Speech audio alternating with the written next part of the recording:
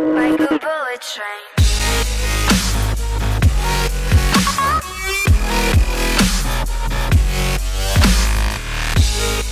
Hey guys, how's it going? I'm I Jordan B1409 and in this video I'm going to be showing you a brand new GTA 5 online glitch which allows you to change your character's appearance.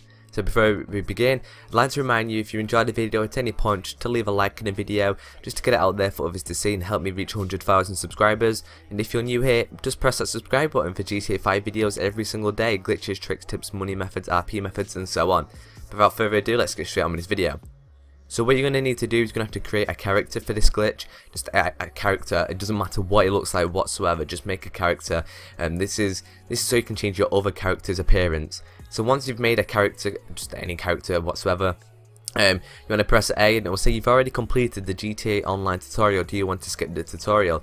This is because we've already got a character. It will allow us to skip it. So we're going to press A to skip the tutorial. And what will happen is we'll have another message come up in a second. And it's going to come up right now. It's going to say um, you have one chance to alter your character's appearance. This will be your only opportunity to do so. So when you see this message, you want to pull out your Ethernet cable or your wireless adapter if you've got an older Xbox 360 or anything like that, just so you disconnect from the Wi-Fi. So you need to unplug your Ethernet cable or anything like that and you'll disconnect from Xbox Live. Now what it's going to do is it's going to take us back to single player now, so we're just going to let that um, load up quickly, um, and once this loads up you can now plug your Ethernet cable back in, and we're going to connect back to Xbox Live, so just sign in once you've connected your Ethernet cable, and we just want to go now to GTA Online.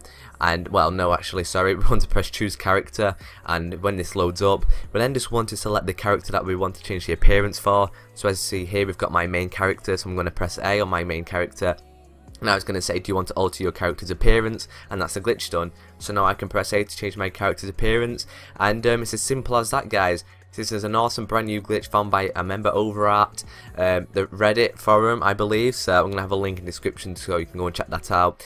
Um, but this was an awesome glitch and I thought I had to share this with you guys. So as always, leave a like for more GTA 5 glitches. Subscribe for videos every single day on my channel. GTA 5 glitches, tricks, tips, money methods, RP methods and so on. So I hope you enjoyed this video guys. This was how to change your character's appearance on GTA 5 Online.